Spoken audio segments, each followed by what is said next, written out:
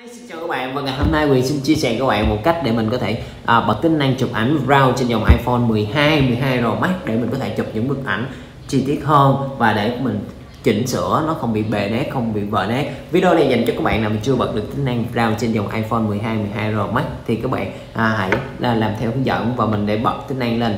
Này, còn những bạn nào đã biết rồi thì các bạn có thể xem tham khảo và có thể um, bình luận ở phía bên dưới những cái cách mà các bạn có thể à, bật hay hơn và những um, mẹo mà các bạn sử dụng iPhone hay hơn để quyền làm thêm những video hữu ích và hay hơn nha. Xin cảm ơn các bạn và mời các bạn hãy cùng quyền mình cùng nhau bật tính năng chụp ảnh.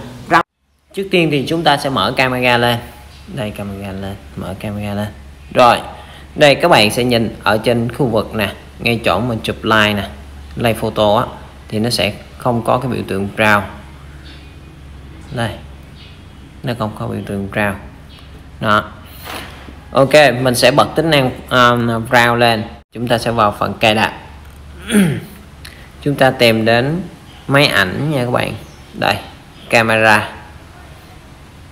Sau đó chúng ta sẽ vào cái phần định dạng. Các bạn thấy ở một ở dưới phần chụp thì nó sẽ có để cho Apple rộp rào. Thì các bạn bật tính năng này rồi đó còn chụp thì các bạn cứ chọn hiệu suất cao dùm quyền. Còn về phần quay phim chậm thì các bạn chọn như quen ha quay phim chậm. Đây.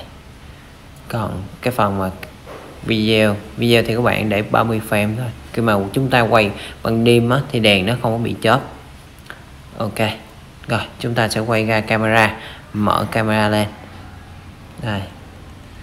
Đây khi mà các bạn mở camera lên thì các bạn sẽ thấy cái biểu tượng xuất hiện có chữ brow kế bên ngay chỗ cái thằng à, live photo. Chúng ta có thể bật tắt đây chọn vào để bật tắt ha. Rồi mình bật tính năng brow lên. Khi mà chúng ta chụp hình nó nó sẽ chụp một tấm. Đây. Hình của brow. Đây. Vậy là chúng ta vừa bật thành công. Tính năng brow trên dòng iPhone 12, 12 Pro Max rất là đơn giản đó các bạn. Xin cảm ơn các bạn đã xem video của Quyền. Hẹn gặp lại các bạn trong các clip lần sau. Hãy nhấn nút like, subscribe ủng hộ Quyền nha. Xin cảm ơn. Hẹn gặp lại các bạn trong các clip sau. Bye bye.